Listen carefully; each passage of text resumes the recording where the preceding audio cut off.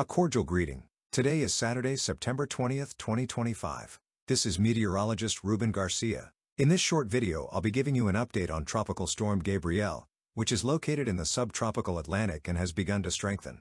Then I'll talk about the next tropical wave we're monitoring in the Atlantic, which currently maintains a low chance of tropical development as it moves west-northwest. Outside of these two areas of interest, the rest of the Atlantic remains quiet. First, let's zoom in on the visible satellite animation of Tropical Storm Gabrielle. After facing problems with wind shear and dry air, the system is now moving into a sector where the atmospheric conditions are much more favorable for strengthening. At the moment, it has maximum sustained winds of 50 miles per hour, but as it moves northwest-northward it is forecast to strengthen into the second hurricane of the season as it passes just east of Bermuda. On satellite we can see that the cyclone looks much healthier with convection developing over the circulation center, which is a clear sign of favorable conditions for intensification. Looking at the official forecast from the National Hurricane Center, the system is projected to keep moving northwest at least until early Monday morning. By tomorrow afternoon, Sunday, it is expected to strengthen into Hurricane Gabrielle, and then should take a turn toward the northeast, passing far from the island of Bermuda. The NHC forecast suggests it could reach Category 2, though a stronger major hurricane, Category 3, cannot be ruled out. Fortunately, it should remain over open waters of the Atlantic.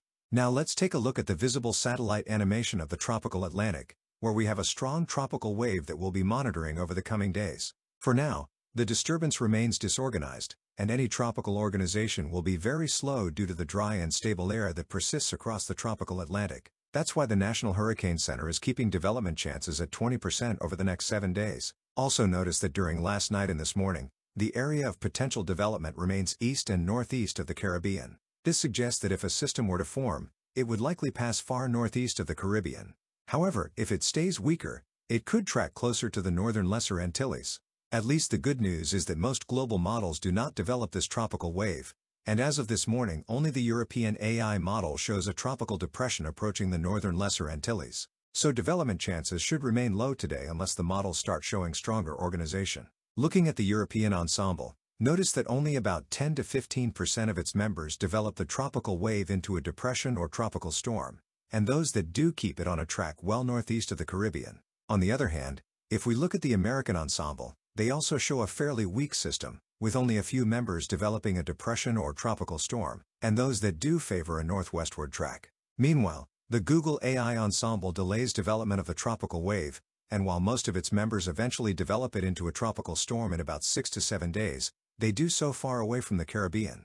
So for now, the Caribbean can remain at ease, since this wave only has marginally favorable conditions for development, and if it does organize faster than expected, it will probably take a track well away from the region. That said, it's always important to keep monitoring, because a system that takes longer to organize could end up tracking closer to the Caribbean. But for now, everyone can stay calm. There are no direct tropical cyclone threats in the Atlantic. Well, that's all for this video. But before I go I'd like to invite you to give this video a like. Also, don't forget to subscribe to the channel and click the bell so you get notifications when I post new videos. I hope you all have an excellent weekend. See you later.